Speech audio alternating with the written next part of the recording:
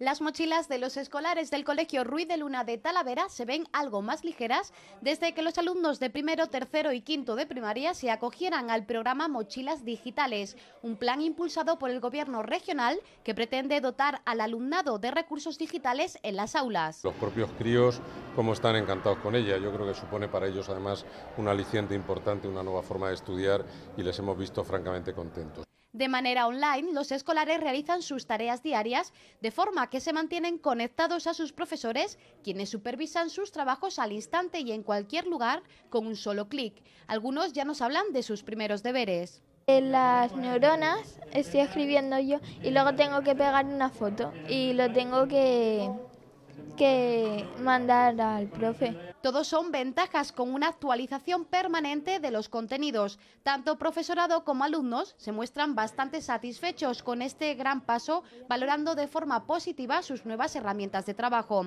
Los chicos ya tienen muy claras algunas de las facilidades que sus portátiles aportan. Que puedes buscar información, no hace falta usar enciclopedias, simplemente buscas, lo minimizas y buscas en internet y ya está. En la ciudad de Talavera ya son cinco los colegios que se benefician de este programa. En la provincia de Toledo 20 y a nivel regional 47. Con tan solo un año de vida, las mochilas portátiles se implantarán de forma progresiva en todos los colegios de Castilla-La Mancha.